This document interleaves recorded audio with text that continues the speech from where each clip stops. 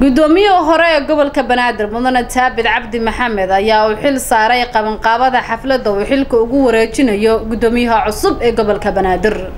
Warkan waxaa inoo ambaqaadayay waryaheena cabdiraxmaan waaberi. Taabida cabdi maxamed guddoomiyihii hore ee gobolka banaadir oo warbaahinta kula hadlayay hoyga uu ka degan yahay magaalada muqdisho caasimada dalka ayaa waxa uu sheegay inuu aqbalay inuu wareejiyo xilka maamulka gobolka banaadir kadib markii sida uu tilmaamay uu ka fikiray in xilligani jahwareer iyo amni xumo ay ka dhacdo magaalada muqdisho. In gobolka banaadir galo jahwareer iyo nabadgelyo xumo waxaan ka doortay in aan xilka wareejiyo isla markaana u hambaliyeeyo guddoomiyaha gobolka banaadir ahna duqa magaalada muqdisho ee magacaaban si taasi u dhacdo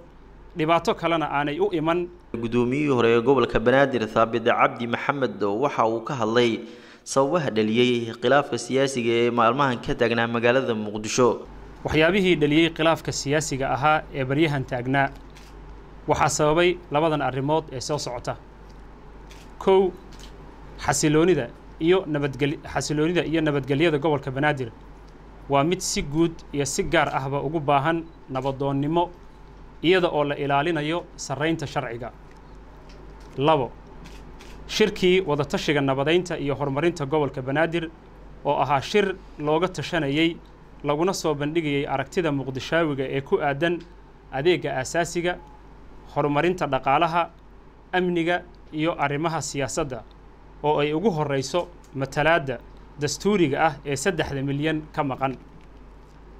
shacabka ka badan saddexda milyan ee gobolka banaadir deggan waxaa naga wada saaran waajib damiiri ah oo soomaalinimo.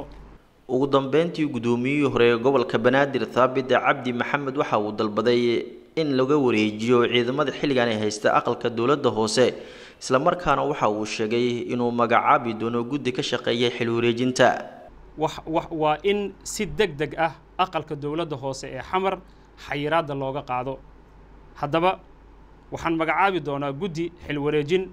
oo ka shaqayn doona arrinkaas mahadsanidiin cabdiraxmaan waaberi som news muqdisho